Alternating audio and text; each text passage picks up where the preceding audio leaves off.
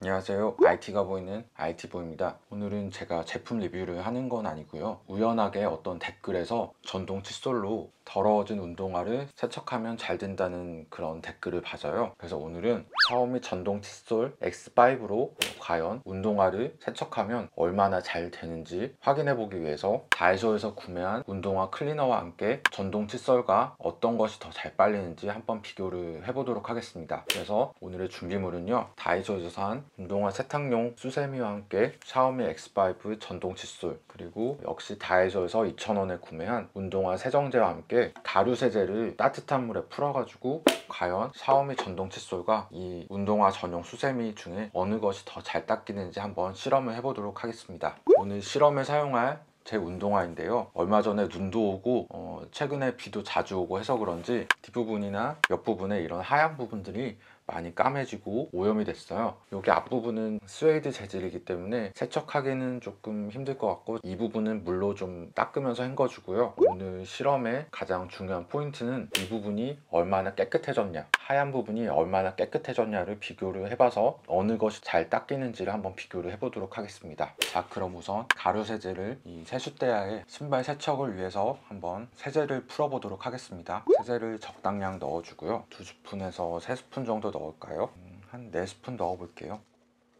이렇게 담아놨고요. 고무장갑을 착용하고요. 그 다음에 미지근한 물을 먼저 부어주고요. 적당량 부은 다음에 이제 뜨거운 물을 부어 보겠습니다. 세제를 잘 풀어가지고 왼쪽 신발은 다이소에서 산 신발 세탁용 수세미를 사용할 거고요. 오른쪽 신발은 샤오미 전동 칫솔로 세탁을 해보도록 하겠습니다. 그럼 우선 이 수세미로 세척을 한번 해보도록 하겠습니다. 신발을 담가주고요. 따뜻한 물을 좀 묻혀준 다음에 이 소를 충분히 적셔가지고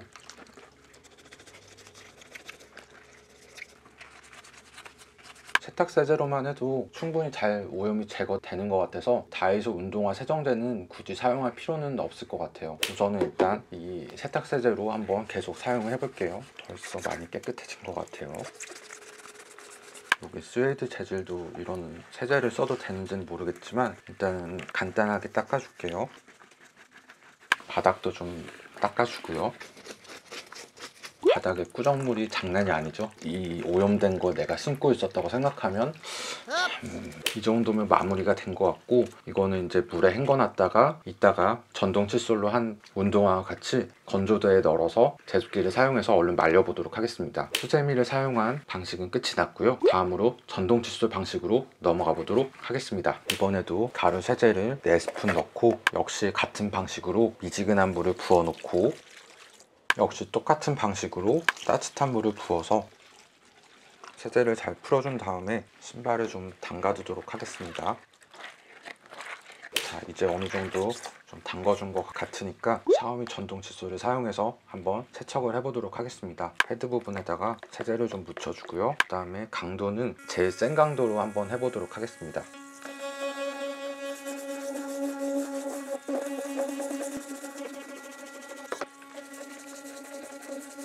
확실히 칫솔이라 이런 홈이 있는 부분에는 잘 들어가는데 면적이 넓은 곳은 그렇게 잘 되는 것 같지는 않아요. 그래도 이렇게 파인 곳은 정말 아까 수세미에 비해서는 정말 잘 들어가서 깨끗하게 잘 닦이는 것 같습니다. 확실히 이런 구석구석까지 청소하기는 칫솔이 더 좋은 것 같아요. 그래서 운동화 세척하시는 분들 중에도 오래된 칫솔을 사용해서 닦으시는 분들이 많으실 텐데요. 전동 칫솔에 그런 힘까지 들어가니까 더 깨끗하게 잘 닦이는 것 같습니다. 구정물도 더 많이 나오는 것 같고요. 아무래도 이 칫솔 면적이 좁다 보니까 넓은 면적의 수세미로 하는 것보다는 세탁하는데 조금 더 시간이 걸리는 것 같긴 합니다. 자주 이렇게 세제도 묻혀줘야 하고요. 좀 그런 불편함이 있긴 하네요 스웨이드 재질도 좀 해주고요. 오 구정물이 아주 오우 씨 보이시나요?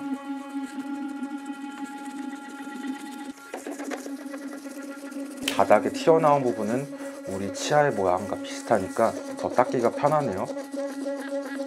양치하는 것처럼 이렇게 닦아주니까 재밌네요. 자 이 정도로 마무리를 하고요. 자 전동 칫솔로 사용한 후에 표정물을 보시면 아까보다 확실히 많이 더러운 물들이 많이 나왔어요. 시간이 많이 걸리긴 했어도 오염원은 더 많이 빠진 것 같아요. 세척을 하러 가보도록 하겠습니다.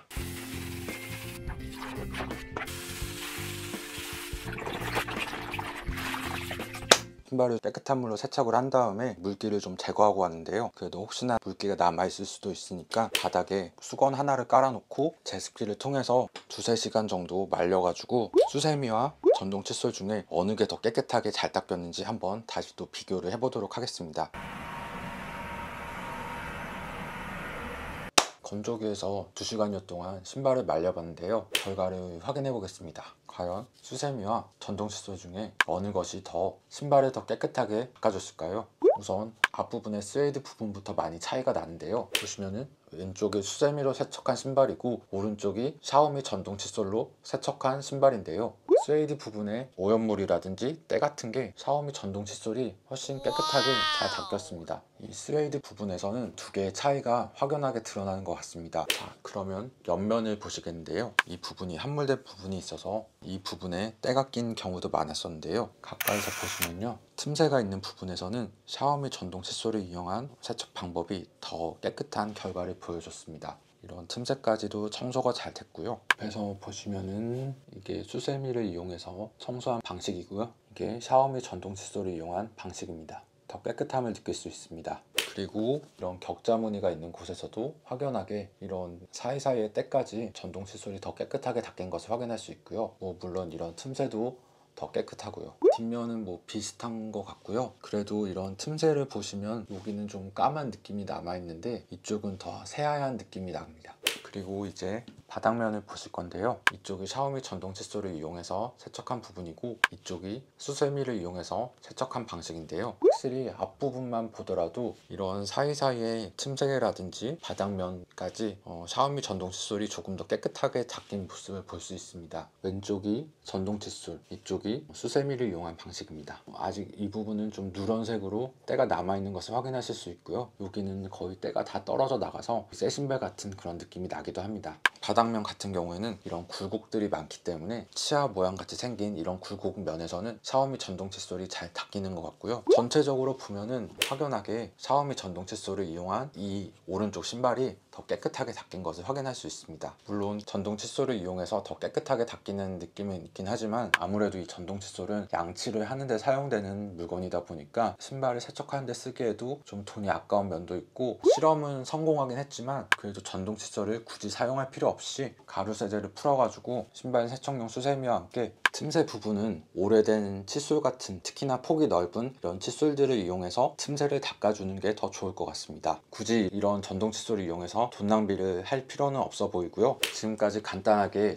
전동 칫솔로 운동화를 세척하는 실험을 해봤는데요. 앞으로 다양한 제품 리뷰와 다양한 영상 올려볼 예정이니 좋아요와 구독 버튼 한 번만 꾹 눌러주시면 감사하겠습니다. 궁금하신 사항이나 더 알고 싶은 사항 있으시면 언제든 댓글 달아주시고요. 그럼 이만 줄이겠습니다. 감사합니다. Boy.